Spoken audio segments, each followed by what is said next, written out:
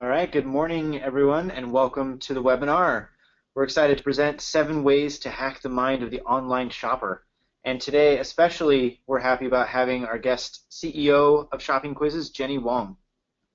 So my name is Rob McGroarty. I'm the Director of Operations and Product here at Webgility. I'm going to be your host. And we'll get into a little housekeeping here just to make sure everybody's clear. Uh, set on mute but we want to get your questions, so submit those through the chat box. Uh, we'll be monitoring those and try to follow up as soon as we can. If, for example, we can't get to a particular question, we will follow up after the webinar. Uh, everybody who's registered to the webinar will be getting a recording, and Jennie will also be sending out an ebook uh, via email to everybody who's here, which is awesome. On top of that, five lucky people uh, will win a hardcover of the ebook, and we'll notify the winners via email after the webinar. So uh, for all those that you are here, keep your fingers crossed. You might get that bookshelf souvenir. Uh, also, feel free to participate via Twitter. Uh, we're using the hashtag seven ways. That's the number seven, W A Y S. Also, follow us on Twitter if you've not already done so by going to twitter.com/webgility. And uh, Jennie, if you want to let everyone know where you are on Twitter. Absolutely. Uh, my Twitter handle is Dr. Jennie Wong, so that's at D-R J-E-N-N-I-E-W-O-N-G, Dr. Jennie Wong. Perfect.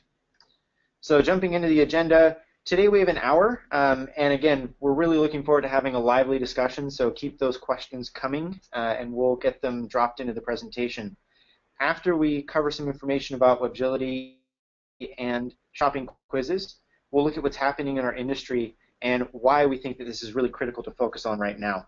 Then we're going to take a look at the seven ways to hack the mind of the online shopper with practical applications that you can implement for your own business, ideally starting today. And if we have time, we'll cover some more in-depth applications such as the engaging emails and the content that need to go in there. And we'll close with some Q&A, but again, since we're trying to have this as a discussion, uh, I'll stop repeating myself, but definitely keep those questions coming into the chat box. Um, we'd love to have the participation. And so now uh, the presenters, I've already introduced myself. I'll let Jennie do a little of her own presenting as well. Hi, everybody. I'm Jennie Wong, and it is a pleasure to be with you here today.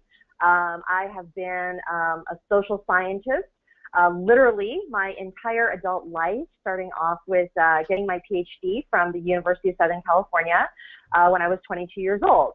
And so I really have a lifelong love of all of this research that I have condensed and am excited to share with you today.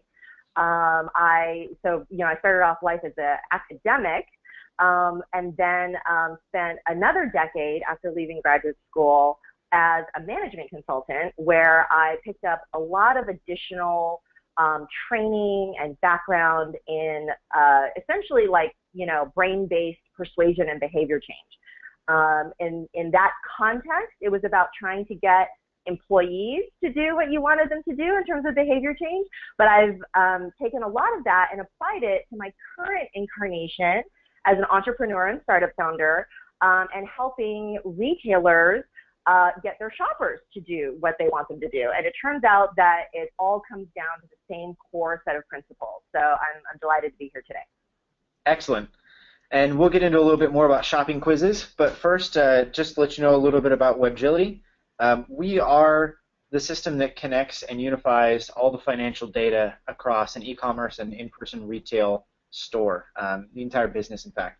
So we lead the industry in this service, and we have thousands of happy companies, to back uh, our shipping, inventory management, revenue, and uh, expense syncing. So our goal here is to be the multi-channel e-commerce uh, backend for finance and keep your operations running smoothly.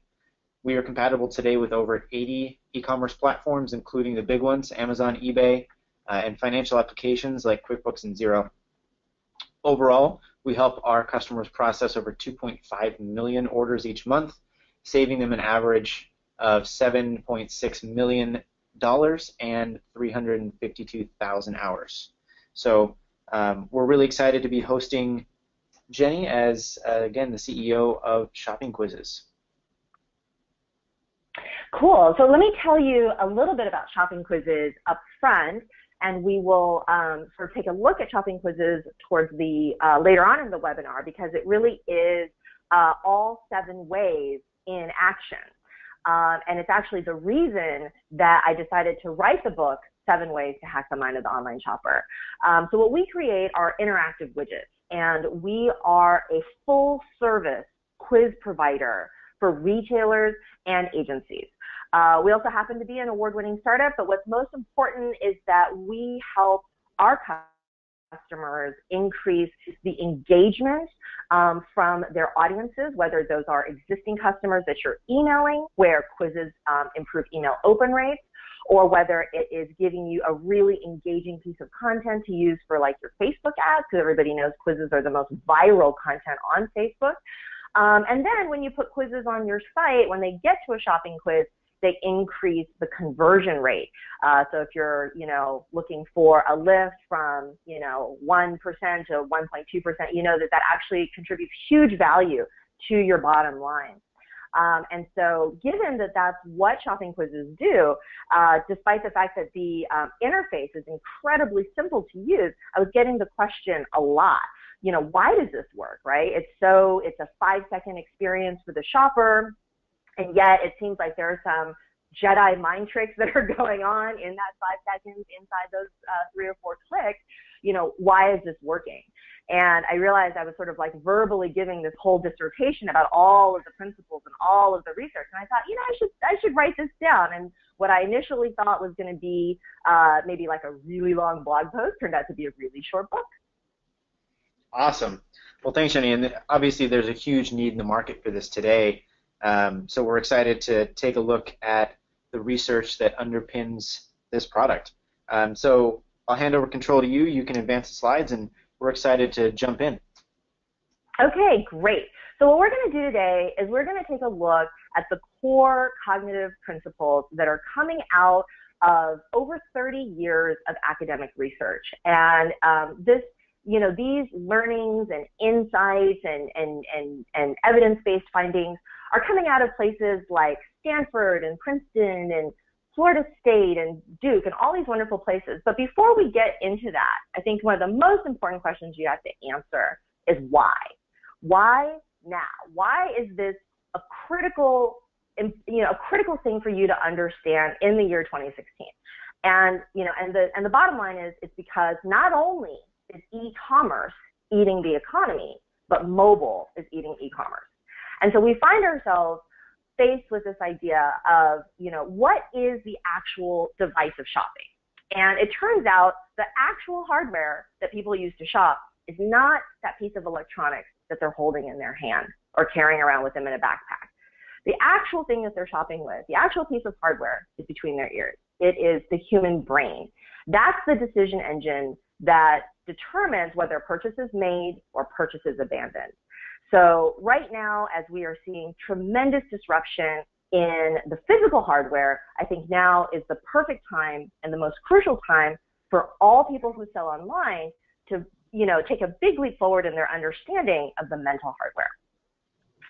So we're going to talk about a whole bunch of different concepts today, and you're going to walk away uh, with insight and learning that you're going to be able to apply um, you know, and start thinking about how that is going to improve your online customer journey immediately. But that said, you know, of these seven principles, not every single one is necessarily going to be appropriate to your particular situation. Every seller, every site, every product, and most importantly, every shopper is different. So it might be that if you sell in a certain niche to a certain customer profile, some of these may not be effective or may not be appropriate for you. So that's an important thing to keep in mind. The caveat that I want to put out there really upfront. But what we want to focus on is the things that you can take away. So these cognitive principles should suggest to you certain specific hypotheses about your business. So when you, as you think about what you sell and how you sell it, um, these, you know, finally having a name for some of your gut feelings should be really helpful as to why something you've been doing is working really well. And maybe it's finally an explanation for why that thing you tried last year kind of flopped and you don't really know why. maybe you'll walk away in the next 50 minutes with a specific name for that and even some citations to explaining that.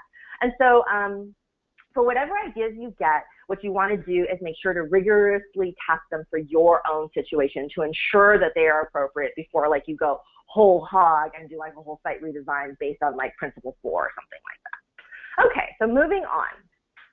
So here they are. These are the seven ways. This is the this is the whole enchilada right here. This is what we're going to cover. We're going to talk about paradox of choice, processing fluency, just-in-time information, micro commitments, simultaneous choice presentation, the compromise effect, and reactance theory. So I know that that's all kind of a mouthful, and maybe a couple of those really ring a bell for you, and maybe some of those you're really uh, reading for the first time. Um, one of the things that we'll cover as we go through is each of these goes by uh, a whole bunch of different names, and so it's very likely you'll find that they these are more familiar concepts once we get into all their synonyms. And then here is the really high level summary, right? Uh, you know, in a nutshell, the human brain likes fewer, better choices. The human brain likes easy to process visuals. The human brain likes to have its freedom to choose, its free will affirmed, and the human brain also really likes happy mediums. Of course, the opposing list is everything the opposite, right? The corollary to all of that is one of the things the human brain really hates the most is being overwhelmed with options and information. We also don't generally love reading, processing, and being forced to remember lots of text. If you think about what a legal document, you know, you think about a legal document in like 10 point font, it's all single space and what that feels like emotionally, we don't like that. Our brains don't like that. We also don't like being told what to do and we don't like extremes. So if you are going to come back to a single slide out of this entire deck, this is the slide to come back to to kind of refresh later. So with all of that preamble done, let's go ahead and dive into the very first principle, which is the paradox of choice. So this is the first way that you can hack the mind of the online shopper is by understanding and solving the paradox of choice, or at least not making it worse in your online store. Um, so the paradox of choice says that the more choices we have, the less likely we are to buy anything at all. And this is obviously um, a key principle for people who sell online because not only do you have competitors that maybe sell something similar to what you offer, um, but actually your number one competition is not the other store. Your number one competition is inertia and no decision at all. Simply abandoning the visit, abandoning the cart, and just saying, you know, the the um, the shopper thinks to themselves, not like, oh, I don't want this anymore, I'm never going to buy this, but instead they think to themselves, I'll do this later. Like this is starting to feel lengthy or hard, so I'm going to click away. Unfortunately, for the retailer, uh, you know, they've already paid for that click, uh, and it's just as good as losing the sale. Now, the paradox of choice has um, other names. So, you know, we oftentimes talk about it conversationally as analysis paralysis. There was also an extremely popular article in the New York Times uh, that, that popularized the, this name for it of decision fatigue. It said, do you have this decision fatigue? Um, ego depletion is another one of the researcher terms that's used for this. And then there was also, um, there's a Nobel Prize winning um, theoretician out of Princeton who refers to this as system one and system two thinking. So Daniel Kahneman has a best-selling book called Thinking Fast and Slow, and this actually all taps into the paradox of choice. So those are some of the other names that it goes by. It's aliases. Um, the other thing that uh, uh, you know people really um, you know identify with when they think about the paradox of choice is they may have seen the TED Talk uh, by Dr. Barry Schwartz, and he is the author of the book The Paradox of Choice. So millions of people have seen that TED Talk. You may have heard of it as well. But um, when it comes back to the uh, sort of the key study, the seminal work on the paradox of choice, it's actually the JAM study. So the JAM study, which you can see the graphic here, uh, was conducted uh, with uh, uh, uh one of the professors was from Stanford, and so this was a Bay Area grocery store, a physical grocery store, where the researchers went in and they set up a table uh, in the grocery store and they put out six gourmet jams. And shoppers in the store could walk up to the table, they could taste the jam, they could buy the jam. And about 30% of shoppers bought some jam. Uh, apparently, it was pretty good jam. um, the interesting part of the study was when they came back a few weeks later. And this time, it was the same grocery store, it was the same table, it was the same researchers, but this time they had 24 varieties of jam. Same deal. Shoppers in the physical store could walk up to it, taste it, buy some, but you know what? They sold 90% less, less jam. Only 3% of shoppers who walked up to the table walked away with a purchase in their hand. Um, and this, you know, should really, this should really strike a chord because e-commerce is all about the extensive choice condition. So what can you do about it? So if you take this learning away, what you realize is that you need to try to avoid in your site design triggering the paradox of choice. You want to minimize the sensation of decision fatigue. Like I just can't look at another pair of black flats. Like my brain is tired. I'm going to go do something else. I'm going to click away. Um, and so this is one of the first applications that you can use for the paradox of choice is think about, you, you know, should you really be showing long scrolling pages of thumbnail images?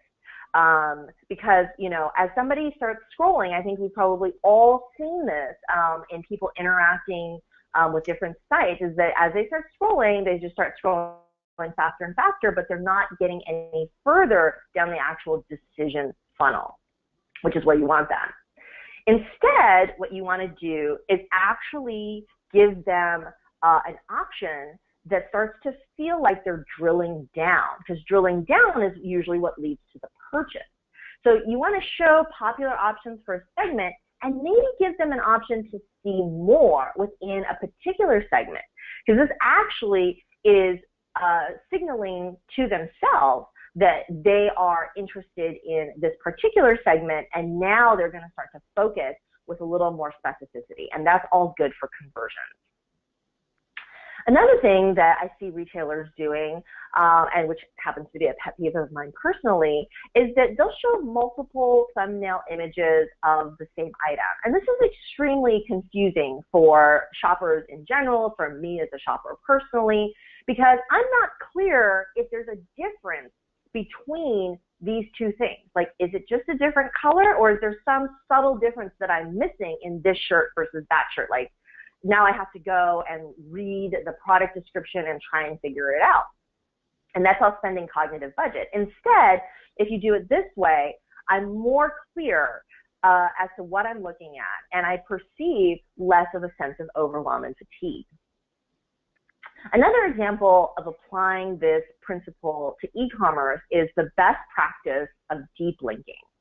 So um, I see retailers doing this, uh, even even you know some of the largest uh, retailers. Like this is actually an example from uh, I believe Gap, where here they're touting the new wireless bras, right? And um, that's something I'm interested in, so I'm going to click that call to action button. But instead of taking me to a filtered page or a segmented page for wireless bras, it actually takes me to the top level page for all bras.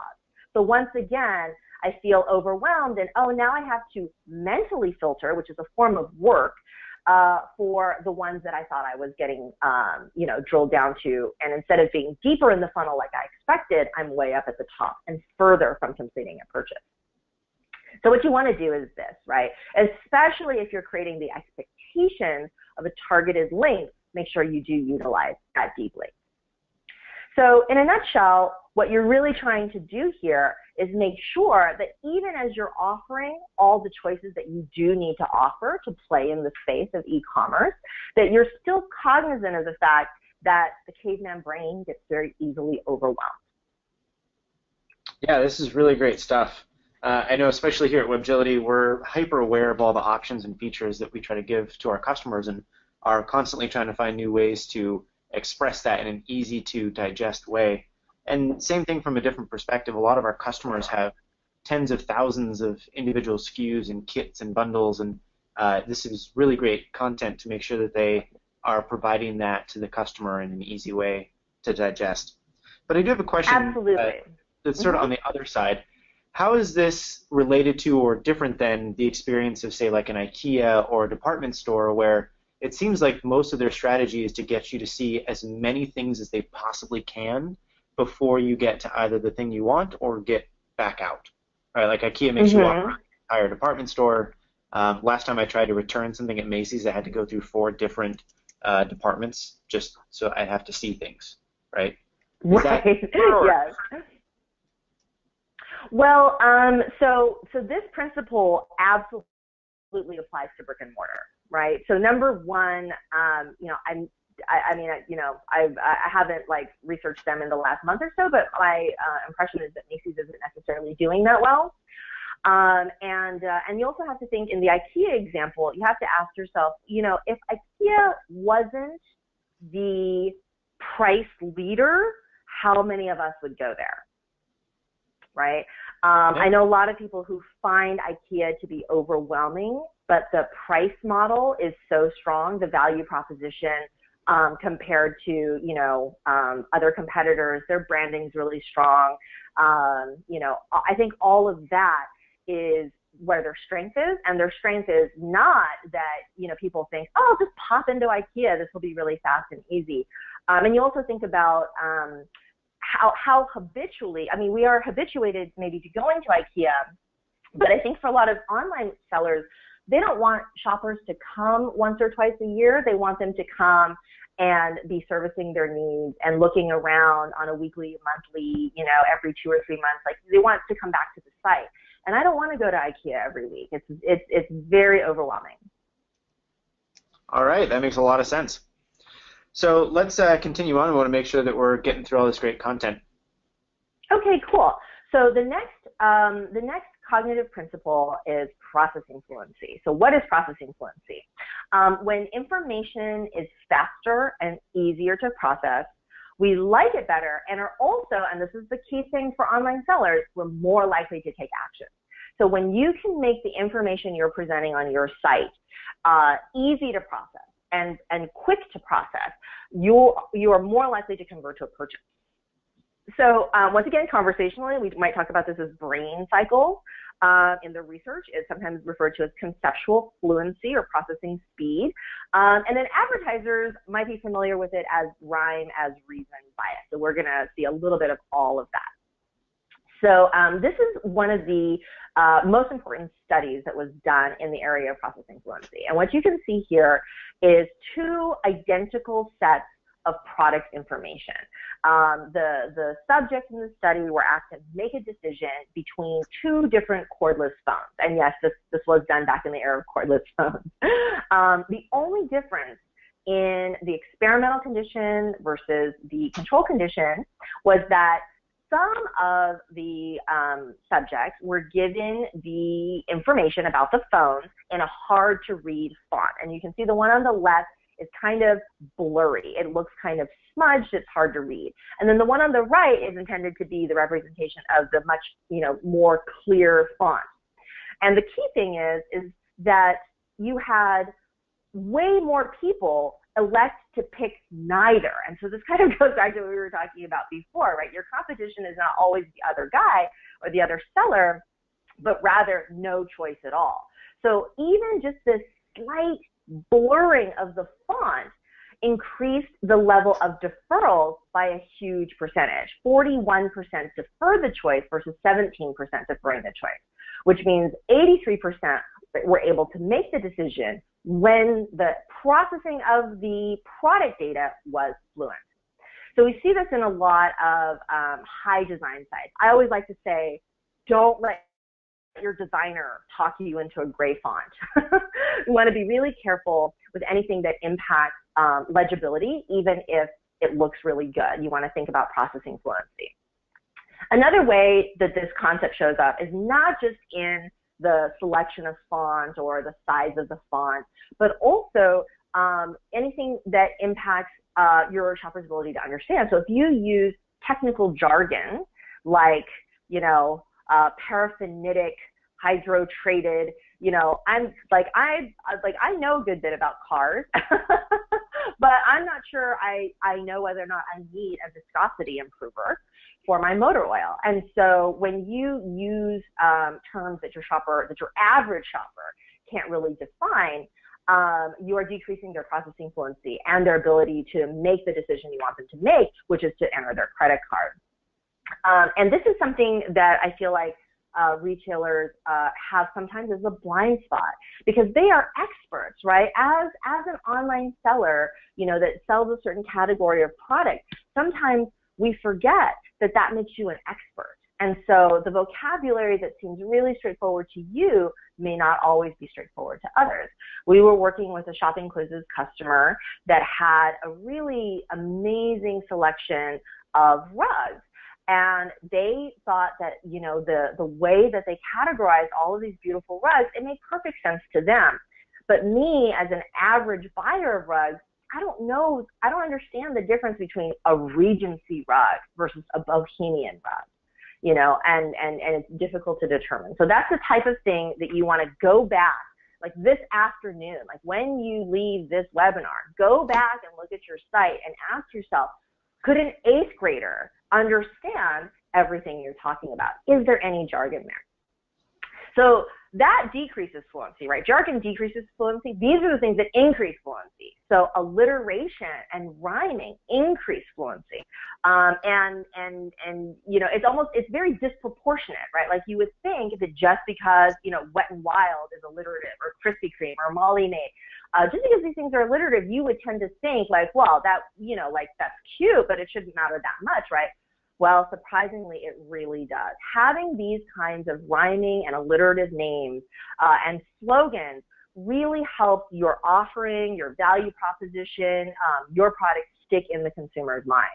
Your company may already have a name, and so you may not, um, you know, want to rock the boat there. But if you're looking for a tagline, um, if you're introducing a new product, if you're white labeling something, you know, think about you know, go go that extra mile, you know, like brainstorm the extra 30 minutes and see if you can make rhyming or alliterative uh, fluency your friend, make it work for you the way it works for these companies. And then um, the third application here for fluency has to do with basic loading speed, right? Speed sells. Uh, and see that, that's alliterative. See what I did there? Speed sells. So that makes it, makes it easy for you to remember um, you know, you want to be cognizant of not only of um, you know the the infrastructure on your side, but also think about um, those users that are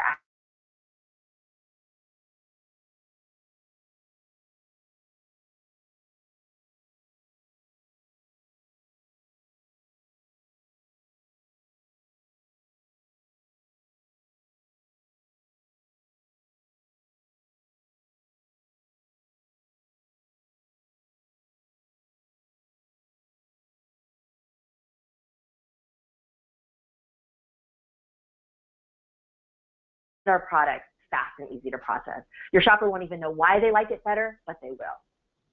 That's great stuff. We and we've had some pretty good uh, comments coming in from the attendees, one of which I thought was really smart. Uh, do you know if there's any fonts that are universally uh, like benchmarks or good for e-commerce? Are there any particular fonts that you start out there and you can't go wrong? You know, that's a really good question, and I will have to look into that one because I don't want to. You know, I mean, I'm I'm kind of super boring when it comes to the fonts that I use. You know, I have like the standard serif font, and then you know I'm using like Arial and Helvetica. Uh, but I think that you know our designer might have some thoughts on that, and I'd love to research that and come back. Uh, and send that out with, um, you know, a little bit of more evidence behind it, because my taste in fonts is not my strength. but that's awesome. a really good. But that's a really good question. I want to know the answer to that too. Yep. And is there is there any fault here in sort of simplifying some of the things that we're talking about and trying to remember it with the Keep It Simple Stupid, the KISS acronym? Um, I'm sorry. Can you say that again? I did. I didn't quite catch that. What's the question? Sure. So the the Keep It Simple Stupid, the KISS acronym. Uh, are would that be beneficial to keep that in mind as we go through this? Is that sort of an overarching thought, or do you think there's any pitfalls going that route? You know, I think there are a few pitfalls um, in in in reducing all of this to the notion of simplicity, right? Because uh, you know you can actually oversimplify something, um, and uh, and actually, you know, I I'm, I'm gonna I'm gonna break order a little bit here because that's such a good question. I'm gonna talk just a little bit right now about the, the not the next one, but the one after, which is micro commitment. Okay, so um, and I'll, I'll talk about it in depth when we get there, but I want to talk about it a little bit right now. So um, simplicity, different people will think about that in different ways, right? It's not necessarily about making things really stark or or minimalist or few words. That's not necessarily the key, although those are some of the synonyms for simplicity.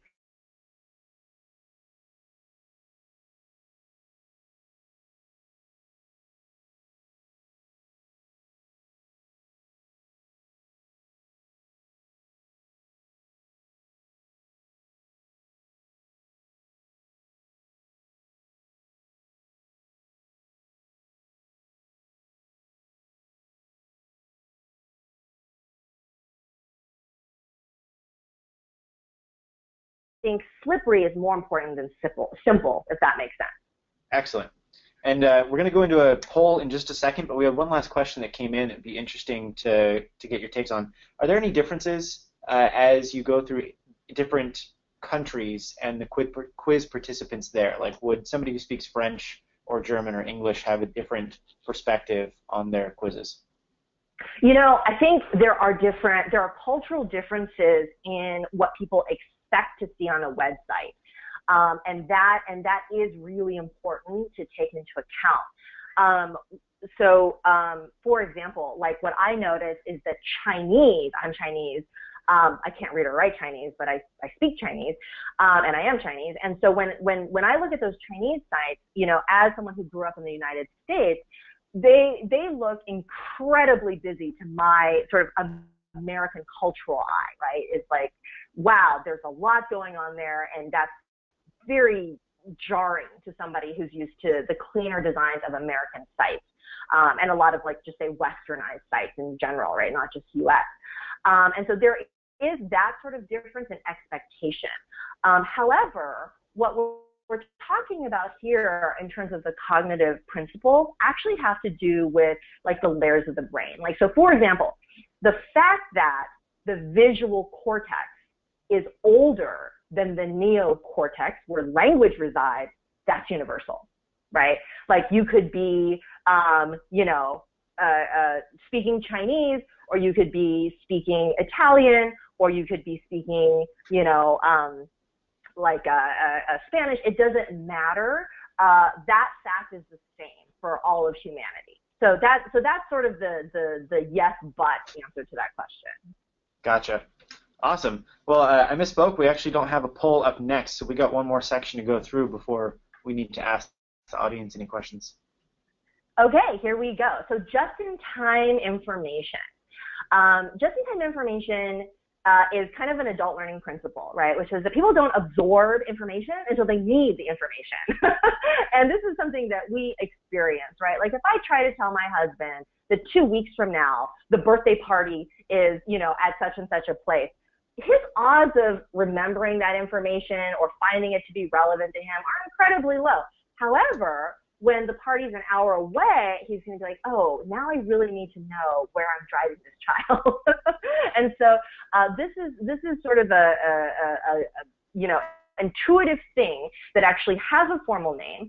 Uh, we call it just-in-time information, but it also um, comes out of research that's done in departments of education, uh, where it's called flipped classroom and interactive engagement.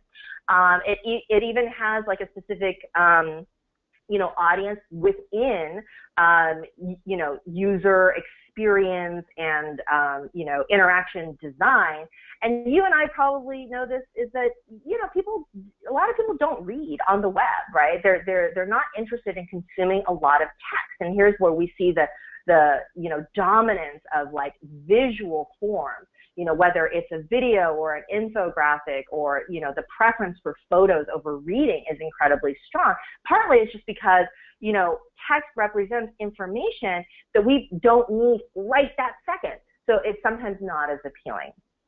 Um, so, um, oh yeah, and then the last thing is one of the reasons that we incorporate research uh, in this principle from, uh, you know, classroom settings is because for a lot of sellers, um, education is a key component of closing the sale. So that's why this information is relevant to e-commerce and um, and and and you know these these audiences.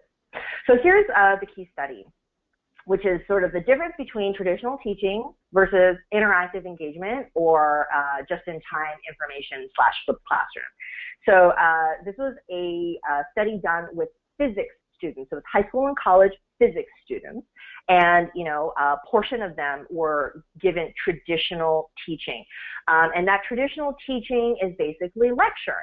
Um, and this is kind of like when somebody shows up at your site and you have, you know, two, three paragraphs that you want them to read. That feels a lot like traditional lecture. The opposite condition was interactive engagement. So this is where there was feedback and questions and interaction, and there was sort of like that loop. And what they saw at the end of the semester was that there was a huge difference in the amount of learning that happened. Now, for the e-commerce situation, or for a lot of your sellers, learning the value proposition is, uh, you know, obviously going to have a really positive influence on the rate of selling. so here's what you can do to apply this concept of just-in-time information. So number one is to use visuals to reinforce definitions, right? So, um, so this this is like a not a complicated category, right? This is window coverings, right? I don't think anybody considers drapes to be high tech, uh, and yet, you know, could you say off the top of your head what's the difference between a blind versus a shade, right? Well, here they reinforce that in a way that once again appeals to that old part of the brain, the primal caveman brain, which is the visual cortex, versus having you read a blog post about the difference between blinds and shades. And so um, you want to make sure that uh, you you are not making this necessary because it decreases your odds of converting. Um, so that's just in category navigation. Another thing that you can do to apply just-in-time information is to provide detailed information after the shopper is curious. So as you can see here, I'm looking at a specific down jacket that I'm interested in. Now I want to understand how these comfort ratings happen, right? Don't tell me, don't try to tell me about that up front. Um, and, and where we see this done right, a lot of times is in um, ch- uh, checkout and payment, right? Is that they'll put the purchasing help information right next to where it's needed, right next to where the action has to take place. Um, and so uh, the other sort of application of this would be live chat. If you have the ability to put interaction um, on your site, a lot of retailers are seeing that this boosts conversions and, interestingly enough, average order value. So if you can do that, it's great to do. So yeah, just make sure that you think about when your shopper needs the information and don't give it to them too soon because it'll kind of bounce off. Excellent. So just to see if we can solidify some of this, we're going to jump into a poll. And the poll asks, as you can see, which of the first three principles do you feel is the greatest opportunity for your business? We've got a lot coming in early at the paradox of choice, but the other two are making some progress here. Oh, interesting. Now, quick question um, while everyone's responding here do you have any any thoughts on background colors for photos? Uh, should they all be white? Is it okay to have a lifestyle photo? Um, is there any research to back either one of those? Um, I think what is um, important about photography is processing speed. So um, a lot of times you will see really beautiful photos, but they're extremely detailed. And so I think at this point you can guess what that means for processing right? Is that that's something where like if somebody has to lean forward, if somebody has to squint, if somebody has to like, you know, on their on their mobile screen, they're expanding it to try to see the detail. I think that's where you want to really um, think about the processing speed. So you want to use photography that can register instantaneously as much as possible. You know, uh, like can someone who is I don't know, you know, 10 feet away from the desktop screen, can they, can they immediately understand what is the photo that they're looking at? If they're on a mobile screen, is this something that is going to read well um, when they've only got three or four inches of real estate between their fingers? You know, so I think that's what's most important is how quickly you can process the visual information you're trying to convey in the photo. Now, if it's meant to be something that's just beautiful, like a waterfall or a sunset, you know, then I think you're fine. But when you're trying to uh, express something about, um, you know, whether it's an apparel item or a piece of electronics or something, I think you want to ask yourself, you know, how how long does someone have to stare at this before they understand the point of the photo? That's awesome. So uh, just to summarize on the poll, uh, we had a little over half of people thought the paradox of choice is the most interesting so far, followed by just-in-time information, and then obviously we just touched on an important point for processing fluency. Um, but want to make sure that we give everyone all the, the great content here, and we're going to move on to number four. Yes, great. Okay, so micro commitments. I'm going to speed up a little bit here, and luckily I have already alluded to micro commitments. I'm just going to go a tiny bit faster. Um, so seemingly small steps can greatly increase the odds of a big commitment. Uh, and the important thing to remember this is that it's, it's really disproportionate, surprisingly disproportionate. Um, you can see for yourself what some of the synonyms are. Um, and I'll tell you a story about, um, you know, a startup that is doing a great job with micro commitments um, and uh, I think it's called uh, uh, Benchmade. And so basically, this is a custom this is a custom couch company that's trying to sell you a two or three thousand dollar couch that you've never sat on. And the way that they do that is with micro commitments, right? So they're not trying to sell you a $3,000 couch, obviously, on your first visit to the site. What they're trying to do on the first visit is to get you to come back for a second visit. And then they're trying to get you to order a fabric swatch. And then um, they put in this other uh, interim step, which I thought was really just genius in terms of talk about slippery slope, right? So after the fabric swatch, then they want to send you a life-size paper template of your couch, like a six-foot roll of paper. So it costs them what it would cost to send like a poster roll through the mail. And they want you to roll out that six-foot or seven-foot paper template in your room, and then come and buy that $3,000 couch from their site. Really brilliant use of micro commitments and slippery slope concepts. The um, the the the you know sort of seminal work in this area was uh, the SOAP study, where um, you know uh, in one group of people uh, they called the lady of the house. This was like you know many decades ago, and they said, you know, would you mind? I'm calling from the California Consumer Product you know Services Agency. Would you mind answering a few questions on the phone? And the people who got that initial call and said yes to that initial small request had 141% greater likelihood of saying yes to the next large request. So the large request is can we send a team to your house to inventory all, all your cleaning products, which is a much larger request because they're asking for hours of time there. But by saying yes to the initial small thing, you can really boost likelihood of the of the of the big ask.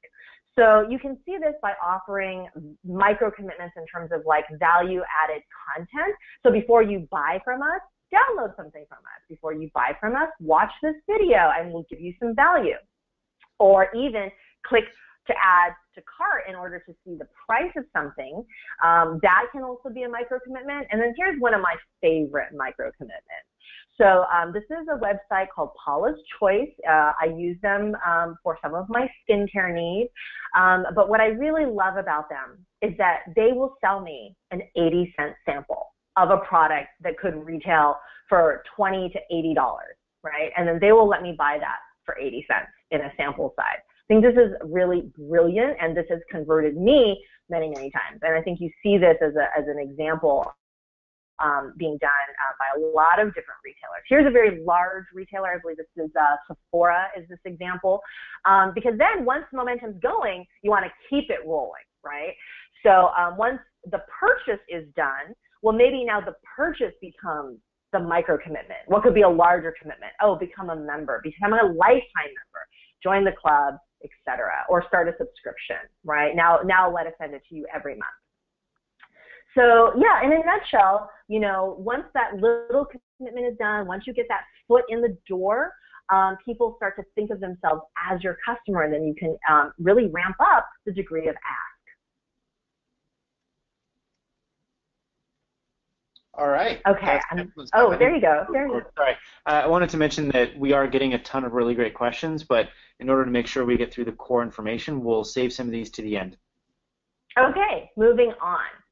Um, so the next principle is simultaneous choice presentation.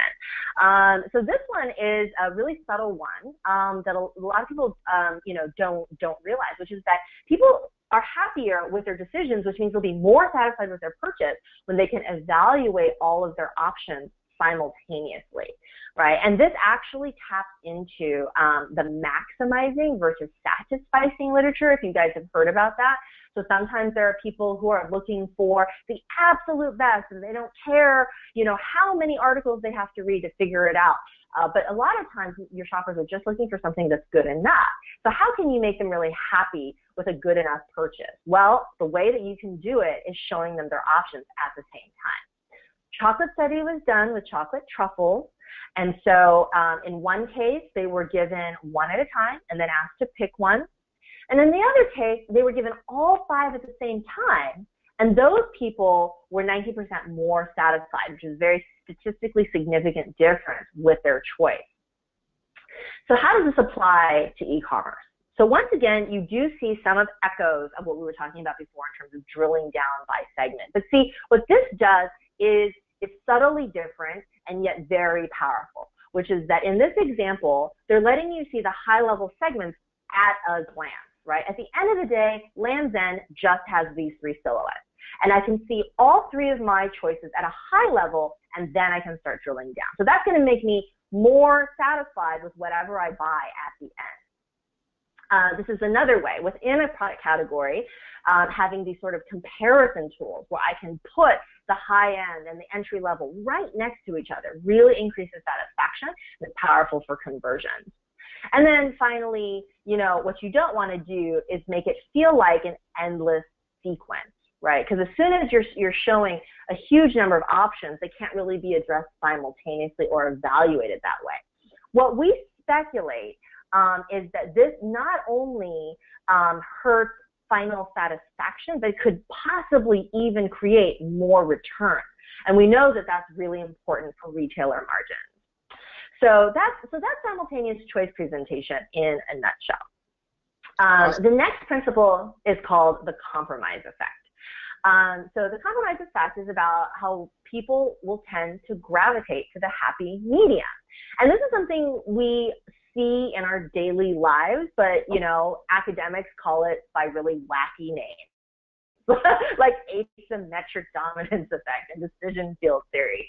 Um, but I think, um, you know, this is something that people can really relate to. And, and, and maybe this is something you can even implement today, right? Is that if you are seeing a lot of your shoppers um, veer towards, like in the first square here on the left, you're going to see that 79% of people buy the less expensive paper shredder. And so if you want to increase ticket, put up a more expensive product that you're actually not even expecting to sell that much of. Because then what you're doing is you're creating a different perception of what is the middle. So this is this is um, something that you know you may have seen before, um, but this is the moment for you to really go and try it out on your site if it's appropriate, right? Think about putting up that $100 shredder as an option not because you're going to sell a bunch of it, but because it's going to drive to the, a new middle option and increase your ticket. Um, you can also think of this at a higher level as how you position yourself between competitors. Um, and, you know, I could talk about that for days. Um, but then here's the other way that you can do it is that if you have pricing plans, right? If you have subscription plans, if you have, you know, if you already are showing um, at a glance options, you can then double down on that by using an explicit trigger by like labeling something as best value, most popular, you know, critic's choice, editor's favorite, etc. Think about using these explicit triggers because people are looking for them, and the reason they're looking for them is because they actually align with our uh, core cognitions and, and uh, sort of those caveman preferences.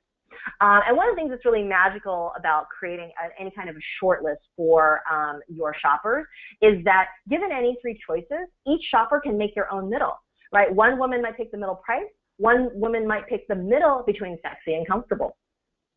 So, um, so yeah, good stuff. so in a nutshell, uh, this this kind of happy medium um, can really work for you um, if you if you uh, do the work to apply it.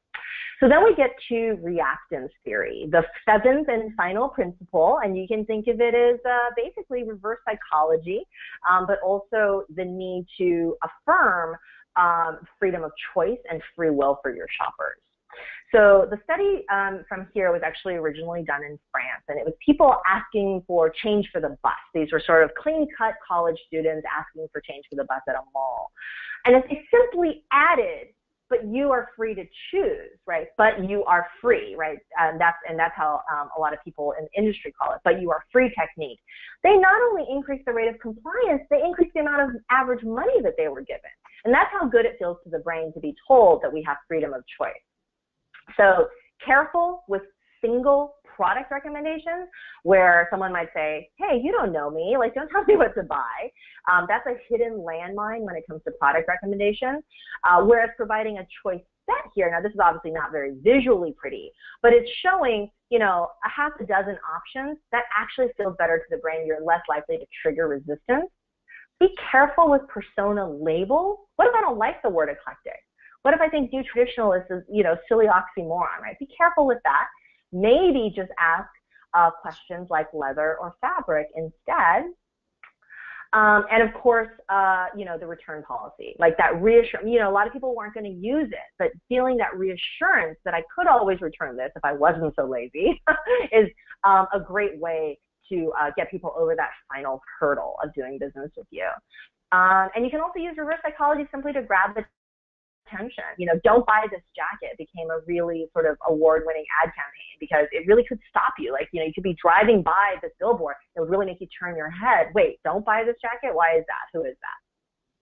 So that really brings us to the end of the seven principles and to our second poll. Rob? Yeah, so I think we're actually going to skip the poll. There's been a ton of great questions coming in. We want to give everyone a quick second to uh, ask those, anything that's still left uh, burning in their brains, and we'll start reading off some of the ones that um, that came in. I think one of the first. Okay, well, let me just. Yep, oh, you know, um, let me. I would. Should should we do Q and A or should I show the shopping quizzes really quick here? Uh, it's up to you. Okay, let me just show because I can show this in about 30 seconds. Let me just do this, and then we can do questions for the rest of our time. So now that you've seen all seven ways I wanted to show you what it looks like when you combine it all and put all seven ways into action. So this is what shopping quizzes look like. On the left, you see one of our partners, one of our customers, golfhq.com. And on the right, you see what their site, what their category page for men's golf shoes, which is one of their top sellers, what it looks like with a shopping quiz. And so instead of that long scrolling page that goes on and on for hundreds of discounted men's golf shoes, instead you see a this or that visual question, spiked or spikeless. And then when you zoom in on it and you actually click one, then it shows you another option like athletic or classic, and then another simple question of colorful or neutral. And basically within five seconds, you get this sort of instant gratification of here's your personal top three. So this is at a glance now, right? This is simultaneous choice presentation. And there's no paradox of choice because three is a manageable choice set. And we don't show one because we're not going to trigger that reactance of like, don't tell me what to buy. And what we've seen is that this can increase conversions by over 20% when we tested this with a random A-B test. So that's what it looks like when you combine all of the principles together. Um, awesome. And uh, okay, yeah, so okay, let's do questions. So I think one that leads right in there, uh, assuming that they can't get to all seven, which one or maybe two do you think would have the highest impact? Um, I think micro commitments is really important for e-commerce. Um, and and and you you hear all the agencies out there touting how incredibly critical retargeting is right? And the reason that they're saying that is because odds of a purchase on first visit are incredibly low, and retargeting is very important. And that's the same reason why I think micro commitments is very important. Because if you can just get them to watch a video or give you their email address or interact with your selection um, or download a guide, um, I think that, that that is critically important and for the same reason that you see retargeting being sold as the number one ROI in ad spend. Gotcha. Now that actually brings up a very interesting point. Another question was video versus pictures. Uh, is there an impact to search results or conversion results, and which one would you recommend? Um, well, did you say video versus pictures? Correct. So, like, if I could so put I in a, a video of a shoe versus a photo of a shoe. So, I, honestly, the ideal answer is both, right? So um, some people, um, you know, are not going to load video as quickly. Some people, for some people, video is going to feel like too much of a commitment. um, but then for other people that are further down the funnel and closer to purchasing, they go, yeah, show me that thing where the shoe rotates in 360 degrees. Like I really want to see that because I'm really close to purchasing, right? But for somebody else, that's actually, believe it or not, too much of a commitment. And so what they want to do is just sort of click through a few different angle photos. So the, the truly ideal answer to that is use both if at all possible. Right on. That makes a lot of sense. Uh, and that kind of feeds into another question. When you're talking to, say, a search engine optimization uh, consultant or expert, and they're trying to get you to add more context, more text, more keywords to your descriptions, uh, what's the right balance, and how do you respond to that to try to get down to a minimal text uh, type interface? So, um, you know, as a former SEO myself, I can certainly understand, um, you know, the the desire for more text on the page for the juice that it provides. Um, one of the things that I see as an effective way to do that is, um, have you noticed like um, that that sort of product page design where the information is on different tabs? So like there's like an initial tab that gives like a high level description of the product, and there might be like a second tab for like fit and fabric, and then like another tab that's like you know specifications and measurements and size chart. I think allowing once again that self-directed drill down to the more, more, more instead of showing it all on one page in one view where like your eyes see, you know, like five paragraphs. Hide it behind different tabs if you can. Right. That's a great, great idea. So we're coming up to the end here, and I just want to thank everyone for their participation. We've had some awesome questions. We didn't necessarily get to all of them, but uh, some of them may be answered, I think, in the bonus material that we'll be sending out. And for anybody whose questions did not get answered, we'll send a follow-up directly to you. So thank you great. all, and thank you, Jennie. Uh, this is really, really great information, and we greatly appreciate having your time here. Great, and I hope to connect with everybody either on Twitter, on Twitter, or through shoppingquizzes.com. Thanks, everybody. Right on. Thank you.